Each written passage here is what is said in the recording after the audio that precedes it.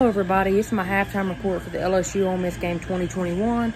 Uh, LSU starts off good, uh, goes up seven to nothing. The Ole Miss gets the ball, starts off kind of slow. As soon as we hit the second quarter, it's like a whole different two different teams. LSU goes back to the LSU we come to love, uh, and Ole Miss goes back to the team that we all expected in this game. Just took a quarter for them to get going.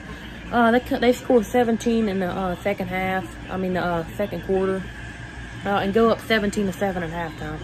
Uh, Ed Orgeron being Ed Orgeron, uh, defense coordinator being the defense coordinator, and the whole team going back, popping back in its place where it should be, how how it should be.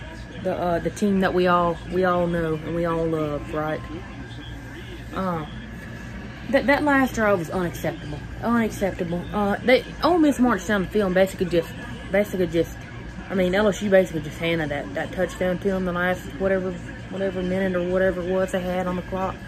Uh, basically handing them the touchdown. It should be 10 to 7 at halftime. It's 17 to 7. Actually, it should be either, it, it could be, Ole Miss actually could be, you know, up a lot more than they than they than they are. It could be 28 to nothing.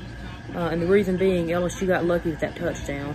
Uh, Ole Miss wouldn't kick the field goal on one of them. Uh, it'd be 21 nothing. Then they got another time they got LSU, they got a penalty or something. So it really should be 28 to nothing. Uh, right now. The LSU's gotten lucky why they're not, I mean, and they're not getting blown out right now. Uh, they're going to go in the locker room, fiddle around for 15 minutes, not make no adjustments. Ole Miss is going to go in the locker room, fiddle around because they've already made their adjustments. And we're going to come out in the second half and play like the LSU, the LSU team that we know and the LSU team that we play in the second quarter.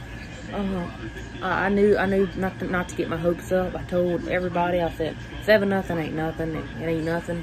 LSU's gonna, I mean, they didn't lose this game. We shouldn't have went for the 55-yard field goal attempt. That was stupid. Ed Orgeron being Ed Orgeron uh, in this uh, in this first half, and uh, it's gonna be the same thing in the second half. I have no, I have no faith in this team. Uh, it, has been lost, but anyway, it's my halftime report.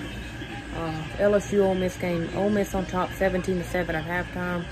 Uh, I'll come back on for the post game, and I'll probably be re recapping a massacre uh, and not a good massacre, uh, a bad one. But anyway, I'll see y'all at the end of the game.